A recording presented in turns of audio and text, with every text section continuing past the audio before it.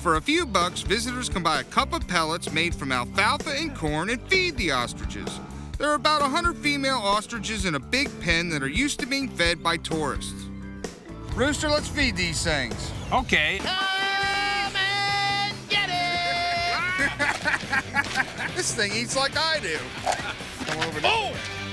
Guess what the college kids have taught him? It's called a chug-a-lug. Who wants to chug it? There's a chug it. Get on up there.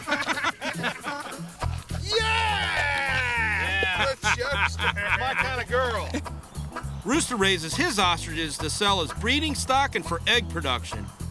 But if you're looking for ostrich meat, you can find ostrich steaks at some high-end grocery stores.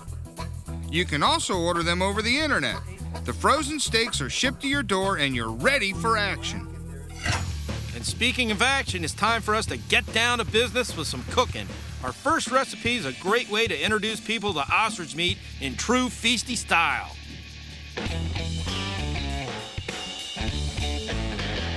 Now, what are we gonna make this beer sauce out of? Well, we need to start with some oil. We need to get that hot. So I got a half a cup of oil there, but reserve just a little bit of it because we're gonna wash that grill down, you know? Okay, that's nice and hot. A little bit of our tang. Then add soy sauce for some tang. Next, onions and garlic.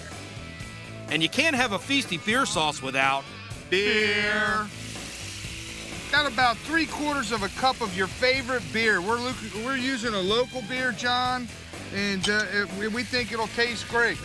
Last up, lemon juice, brown sugar, and Dijon mustard.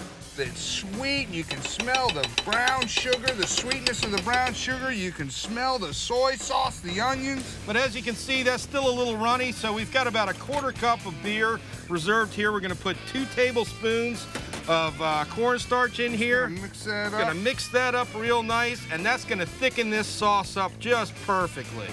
The reason why we had to do this separately is because you can't add cornstarch to hot liquid. It'll clump. So you want to just reserve some cold water, some cold beer. That way it'll dissolve and then you can throw it into your sauce. And look at that.